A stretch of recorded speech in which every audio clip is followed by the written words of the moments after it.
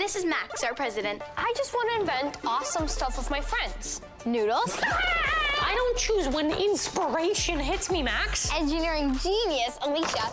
I can build a prototype in an hour. And I'm Kaylin, head of marketing. oh. I could market the heck out of this. Great. We make a great team. I got this. So, how can I help? Do you need 50 bucks for a lemonade stand? We're seeking 65,000. Sixty-five what?